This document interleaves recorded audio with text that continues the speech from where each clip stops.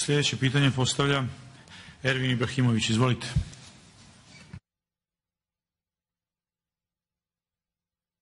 Zahvaljujem. Poštovani predsjedniče Skupštine sa saradnicima, uvaženi predsjedniče Vlade, članovi Vlade, drage kolegnice i kolege, poštovani građani, dragi iseljenici. Na osnovu člana 187 Poslovnika Skupštine Crne Gore postavljam sljedeće pitanje predsjedniku Vlade Crne Gore, gospodinu Dušku Markoviću. Poštovani predsjedniče Vlade, da li je Vlada Crne Gore pokrenula postupak priznavanja crnogorskih vozačkih dozvola u Saveznoj Republiki Njemačkoj? Ako jeste, kada očekujete da će taj postupak biti okončan? Obrazloženje. Prema zvaničnom izvještaju nadležnih organa u Njemačke, trenutno je u Njemačkoj na privremenom radu preko 23.000 državljana Crne Gore. Kada imamo povećan trend odlaska naših građana u zemlje Europe, a posebno u Njemačku, kao i činjenicu olakšanog postupka dobijanja radnih viza za naše građane, svakako je očekivati da je taj broj mnogo veći. Pored svakodnevnih problema sa kojima se naši građani susreću u Njemačkoj, kao što su prijavljivanje boravka, dobijanje potrebne dokumentacije za rad u Njemačkoj, zapošljenja, smještaja, nepoznavanje njemačkog jezika i sl. naše građane dodatno opterećuje i nemogućnost korištenja crnogorskih vozačkih dozvola. Nepriznavanje crnogorskih vozačkih dozvola od strane njemačkih organa stvara problema i onima koji su više decenije u Saveznoj Republici Njemačkoj, kao i onima koji su tek godinu dvije na privremenom radu.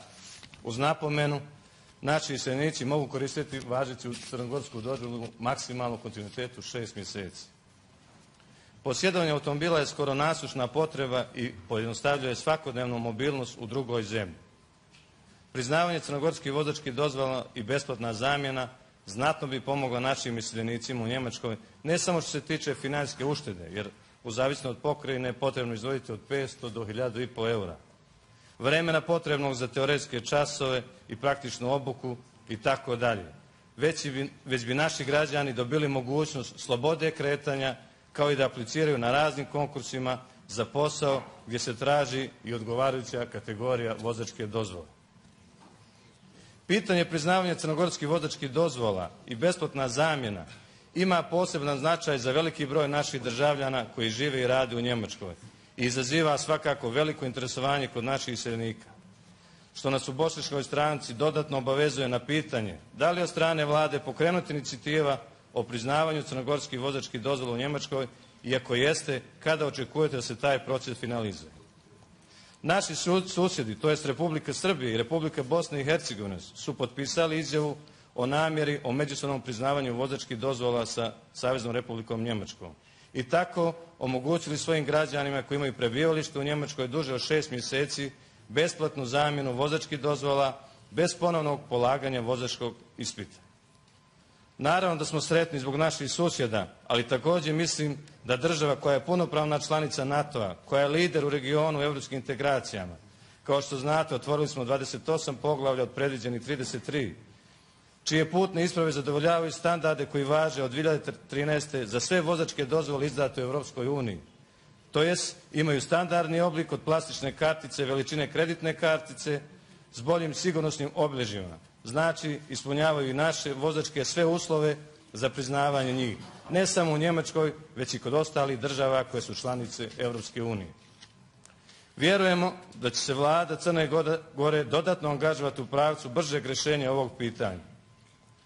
Optimizam zasnivamo iz vašeg ekspozeja gdje ste posebno naglasili interesovanje za naše iseljenike i dodatno unapređenje odnosa sa našim iseljenicima. Kao i činjenicu da Crna Gora i Savezna Republika Njemačka imaju prijateljske i veoma sadržajne odnose koji su vidljivi na polju razvoja ekonomske, kulturne, privredne saradnje i kroz veliki broj održanih posjeta i susreta na najvišem nivou. Posebno bi izdvojio vaš susret sa njemačkom kancelarkom Angelom Merkel na konferenciji o bezbjednosti u Minhenu 19. jula ove godine, gdje je nedvosmisleno poslata poruka podrške vladi Crne Gore. Odgovor tražim u pisanoj formi. Zahvaljujem. Hvala poslaniče.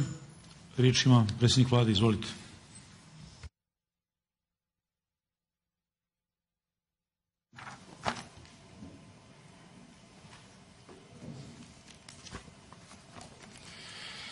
Poštovani poslaniče Ibrahimoviću, zahvaljujem, zahvaljujem na postavljenom pitanju i pozdravljam namjeru da institut premijerskog sata kad god za to imamo priliku iskoristimo za ona pitanja koja su od interesa za unapređenje kvaliteta života naših građana, ali i onih ljudi koji su odlučili da svoj životni i radni vijek nastave van granica Crne Gore. U veoma sadržajnom i detaljnom obrazloženju pitanja dali ste jasan predlog situacije u kojoj se, kada je riječ o korišćenju i priznavanju crnogorskih vozačkih dozvola, nalaze naši državljani u Saveznoj Republici Njemačkoj. Upravo zbog toga jasno prepoznajem potrebu da ovo pitanje potpuno objektiviziramo kako bi kao država intenzivirali sve aktivnosti u pravcu njegovog rješavanja. Saglasan sam sa vašom ocjenom da korišćenje automobila u današnje vrijeme, pogotovo u velikim zemljama i gradovima poput centralno i zapadno europskih, predstavlja gotovo nasušnu potrebu.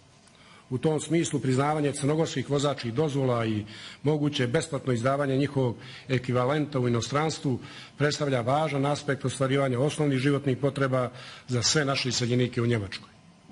Posjetit ću da u ovom momentu postoji određeni režim olakšica za crnogorske državljane koji su se našli na privremenom boravku i radu u Njemačkoj. Naime, prema važećim propisima, ukoliko imalac crnogorske vozačke dozvole zasnuje prebivalište u Njemačkoj, istu može koristiti u vremenskom trajanju do šest mjeseci. Nadležna uprava koja odlučuje o ovim pitanjima može produžiti taj rok za još šest mjeseci ako podnosilac zahtjeva dokaže da neće imati prebivalište u Njemačkoj duže od godinu dana. Međutim, ukoliko boravi više od tog perioda, crnogorska vozačka dozvola mora biti zamijenjena Njemačkom. Prilikom zamjene crnogorski državljani moraju apsolvirati i položiti ispit za sticanje njemačke vozačke dozvole i takav ispit svakako za njih znači i izvjesni napor.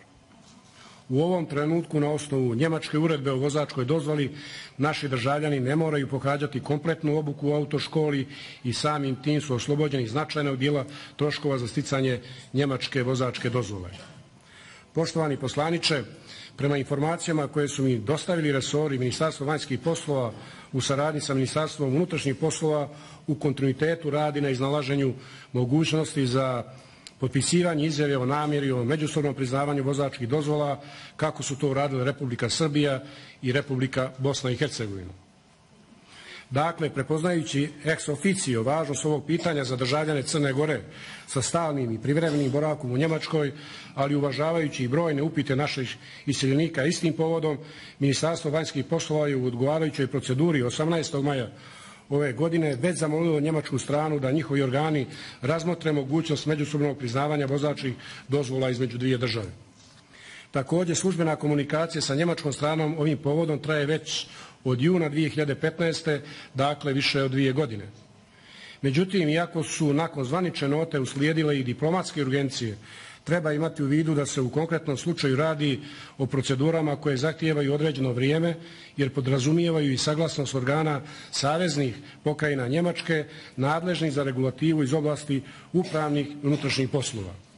Želim da potvrdim vašu ocjenu da Crna Gora i Njemačka imaju prijateljske i veoma sadržajne odnose u svojim oblastima, posebno onim od ključnog značaja za uspješno okončanje procesa evropske integracije Crne Gore.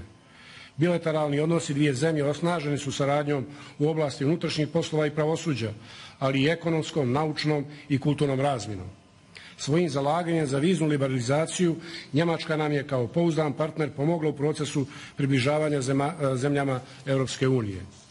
Dakle, naši bilateralni odnosi daju mi za pravo da vjerujem da će i pitanje međusobnog priznavanja vozačkih dozvola sa njemačke strane biti tretirano pozitivno. Ono je svakako sastavni dio mjera koje građanima Crne Gore u završnoj fazi procesa pristupanja Europskoj uniji treba da omoguće da što lakše i uspješnije koriste povoljnosti koje su im na raspolaganju u Njemačkoj i u ostalim članicama Unije. Znamo da međunarodni odnosi između država podrazumijevaju kompleksnost i slojevitost, pa i individualnost u primjeni i gotovo da nije moguće povući znak jednakosti među državama ni u onim situacijama koje nam se čine približa istim. Ali smatram da državljani države koja je punopravna članica NATO-a i najperspektivnija zemlja kandidat sa Zapadnog Balkana za članstvo u Europskoj uniji trebaju imati prava i Saveznoj Republici Njemačkoj imaju iseljenici nama susjednih država. To treba da bude stalni zadatak i naše vanjske politike i naše diplomatsko-konzularne mreže, ali i svih resora u čijem se djelokrugu nalaze pitanja od značaja za poziciju crnogorske dijaspore svuda, pa i u Saveznoj Republici Njemačkoj. Okviri ovog pristupa, kako ste i zapazili, postavljeni su u programu rada vlade koji sam vam predstavio u novembru prošle godine. Uvaženi poslaniče, ovom prilikom vas pozivam da ne samo kroz mogućnost poslaničkog pitanja, već i u neposrednoj komunikaciji sa ministrima koji danas sjede u ovom parlamentu, a uz punu podršku mog kabineta, pratite dinamiku rešavanja ovog pitanja kako bi našim iseljenicima u optimalnom roku omogućili uslove za nesmetan život i rad van granica matične zemlje. Hvala na pažnju. Hvala. Poslanik Ibrahimović ima pravo na komentar. Hoće da ga iskoristi, izvolite. Zahvaljujem predsjedniče. Predsjedniče vlade, zahvaljujem na iscrpnom odgovoru. Da kažem da sam i delimično i zadovoljan odgovorom. odgovorom. Svakako danas da naši iseljenici prate ovu skupštinu kao i sve što se dešava u Crnoj Gori. Kao što oni vole da kažu, mi nemamo rezervnu domovinu. A, naši iseljenici su svoju podršku vjernu Crnoj Gori pokazivali i pokazuju non stop. I zato su zainteresovani kako vlada gleda njih. Kada predsjednik vlade kaže da će nastaviti brigu o njima, ohrabroje sigurno sve naše iseljenike, ali podsjeti još jednom sve ovdje a, za, za nesebičnu podršku a, nezavisnoj državi Crne Gore od iseljenika, evropskim i evroatlantskim integracija, podrška građanskoj Crnoj podrška čak 90% i aktualnoj vlasti, Svakodnevni dolasci, kad imaju slobodno vreme, naši iseljenici dolaze u svoje zavičaje. Prezentuju najbolje naš u inostranstvu. Mislim da moramo dati dodatne napore, normalno u bilateralnom razgovoru sa Njemačkom, uz zahvalnost što ste mu putili na ministre, da istrajemo na ovome i vjerujte, veliki je problem za naše iseljenike vozačka dozvola. Uz uvažavanje ovo produžetak, ali oni moraju ostaviti porodicu, djecu, moraju uzimati slobodne dane, Veliki, veliki je to problem za naše iseljenike i zato bi zamolio vladu da istraju na ovom pravcu, kao što ste rekli, i da naši iseljenici u što kraćem vremenu dobiju potvrdu. Još jednom bi napomenuo da bošnjačka stranka ima obavezu da brine o iseljenicima, jer uvažava veliki ugled i podršku od nas iseljenika i uvek ćemo se truditi da prenesemo ovde njihove probleme. Zahvaljujem. Hvala.